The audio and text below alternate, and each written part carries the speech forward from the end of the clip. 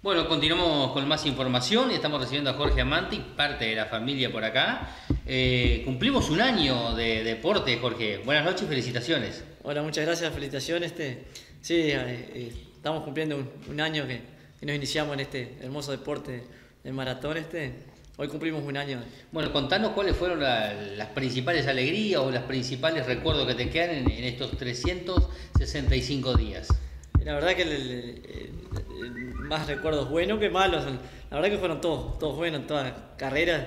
Siempre se, se suma algo positivo y, y, la alegría de haber terminado todas las, todas las carreras, no haber sufrido lesiones, este, es muy positivo. Este. Y aparte de cosechar buenos resultados que, que también suma para seguir. Y amistades tremenda por todos lados, ¿no? Sí, sí, esa es otra parte linda que tiene este, lo que es este deporte, este, que el grupo humano que se, se encuentra por otros lados que es impagable. Jorge, eh, ¿cuesta mucho ¿Sigue costando mucho? Sigue costando, sí, eh, pero este, eh, es lo que me gusta, este, es lo que, lo que elegí y, este, y vamos a seguir por esa. ¿Cuál fue el primer, el primer podio que hiciste estando con este deporte?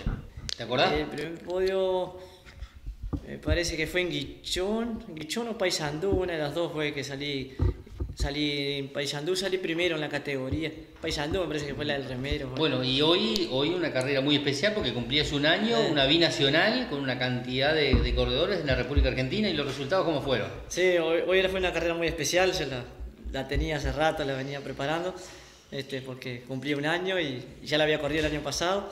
Este, una carrera dura, eh, pero por suerte se dio el resultado. De 10 kilómetros. De 10 kilómetros, sí, yo corrí la de 10, había de 21 y de 42. Yo corrí la de 10. ¿Cuántos corre maratonistas en esta oportunidad? En más de, más de 300 en la de 10. Después en la de, 21 había más y en la de 42 había menos. Este. Bueno, ¿y lo, la exposición? Salimos primero en la categoría y quinto en la general. Pero espectacular, Jorge, eh. entonces, ¿no? La verdad, sigue cosechando los triunfos. Digo, eh, Martina, seguimos agrandándole a la cena, ¿no? Sí, pero no dan casi más las cosas para poner a los trofeos y no sabemos dónde poner ese. Bueno, este precioso trofeo de la República Argentina. Y con este me parece que tenemos 18. 18 ya, espectacular. ¿La próxima carrera, Jorge? El sábado que viene en concesión, no sé si voy a ir. Y después hay un Colón también cerca, el 8 de octubre, algo así. En octubre como tres carreras, vamos a ver si podemos ir a alguna. Este. En la, República Argentina, sí. Sí, sí. La idea es ir uno o dos por mes que se que se puede ir, más no se puede. Bueno, la familia obviamente que siempre está acompañando y respaldando. Sí, sí, tal, aprovecho para, para saludar este, a, mi señora, a mis hijos, que, que siempre este, uno lo lleva en cada carrera, aunque no puedan ir. saludo para mamá también. Este, y aprovecho también un saludo muy especial para la gente de Guavillú, que hoy este, lograron el campeonato Apertura. Este, saludo grande para la hinchada y para, para los jugadores.